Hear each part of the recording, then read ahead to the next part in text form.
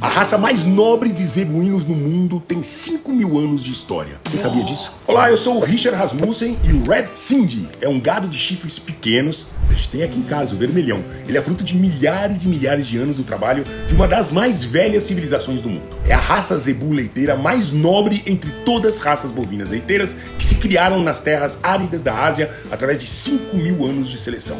O Red Sindh, ou gado vermelho de Sindh, é o gado nacional do Paquistão conservado em estado de relativa pureza, graças à situação de isolamento criada pelos próprios desertos que rodeiam o centro de criação desse rebanho. A sua importação em 1952 aqui para o Brasil, de gado Sindh diretamente do Paquistão. Porém, o sucesso da raça e da sua resistência e também a adaptação foi tão grande que a raça se espalhou por quase todo o país e logo em seguida ganhou as Américas todas. Este conteúdo é um oferecimento da linha Ataque Plus da Agronese, suplementos fitoterápicos que combatem os ecto e endoparasitos e até a mosca do chifre.